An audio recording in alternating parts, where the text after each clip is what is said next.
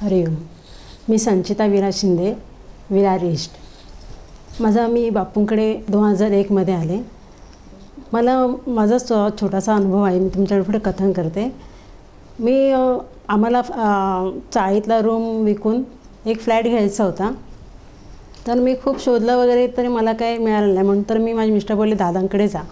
मी दादांकडे गेले आणि दादानं सांगितलं की दादा मला फ्लॅट घ्यायचं आहे तर दादा बोलले ही ही उपासना करा. आणि ते उपासना म्हणजे चालू असताना दहा दिवसातच मला जसा पाहिजे होता तसा माझा फ्लॅट मला नजरेस मिळाला. आणि नजरेस मिळा- सापडला पण त्याची किंमत होती एकवीस लाख. आणि त्या बिल्डरला पूर्ण कॅश पाहिजे होती.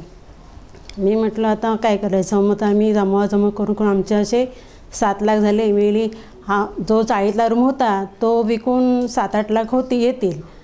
असं करून मी ठरवलं आम्ही बघवतो पण रूम काय विकला जात नव्हता. नंतर म्हटलं की बघूया होईल होईल. नंतर मग एक वर्ष असंच केला नंतर माझे मिस्टर बोलले दादांना जाऊन भेटूया आपण. मग मी दुसऱ्या दिवशी परत दादांकडे गेले. दादांकडे गेले. दादा बोलले दादांना सांगितलं दादा तुम्ही मला उपासना दिली होती. ती करता करता दहा दिवसांनी मला असा रूम सापडला की तो मनातच भरला आहे पण थोडी जरा पैशाची अडचण आहे. पैशाची जमवजमव होत नाही आहे दादा बो दादा एवढे खुश झाले ना की एकदम खडकन उठले जोरात हसले वगैरे बोलले जोर लावा आणि घेऊन टाका. असे दादा म्हटलं. आणि मला तर खूप आनंद झाला. मी घरी आले. मिस्टरांना सांग सांगितलं की दादा असे असे बोलले. तर ते तू कशाला काळजी करते? दादा बोलले ना जोर लावा आणि घेऊन टाका.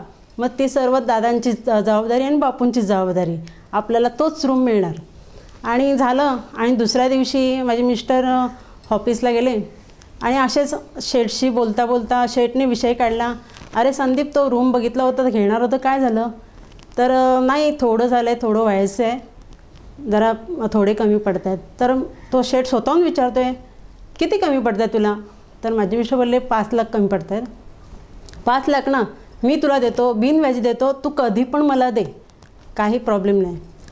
तर आश्चर्य वाटलं की एवढा आपण स्वतःहून न मागता तो स्वतः देतो आहे ही पण माझ्या बापूजीच लिला.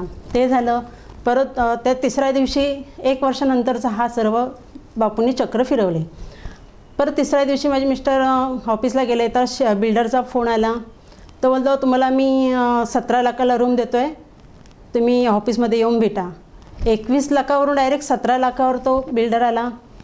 आणि ऑफिसमध्ये येऊन भेटा. तर माझे मिस्टर गेले त्या ऑफिसमध्ये भेटायला.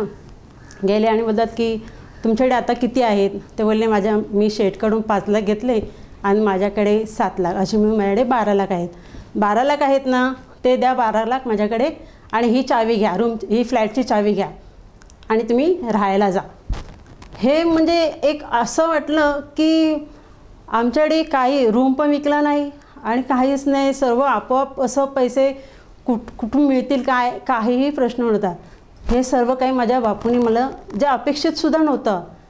एक चाळीतला रूम असूनसुद्धा मला फ्लॅट मी घेऊ शकेन ही सुद्धा माझी कल्पना नव्हती.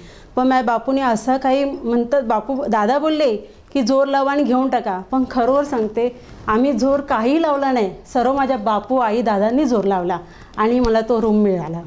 हरिओम. तसाच एक छोटासा दुसरा अनुभव मी सांगते. मी आम्ही माथेरानला गेलो होतो दिवाळीतून. फिरायला म्हणून. माझा मुलगा मुलगा मुलगी आणि माझे मिस्टरने मी. गेलो आणि दोन दिवस खूप मजेत केले वगैरे छान. तिसऱ्या दिवशी अशीच एक डोंगर होता वरती आणि एक खाली जमीन वरती वीस फुटाचा डोंगर आणि खोल दरी होती. ती चाळीस हजार फूट खोल दरी. ती दरी आणि वरती माझं वीस एक जण वरती त्या डोंगरावरती गेले होते. तर माझा मुलगा बोलतो आहे की पप्पा मी पण बोलतो पप्पा मी जाऊ वरती. तर माझे मिस्टर बोलले जा पण जपून जा वरती. तर माझे मिस तो मुलगा माझा गेला आणि खाली उतरत होता. तो एक दगड होता. त्या दगडावरती त्याचा पाय सटकला ना जसा एक मणी जर प पडतो वरून तो खा टक प टप्प्याटप्प्याने उडत उडत खाली येतो.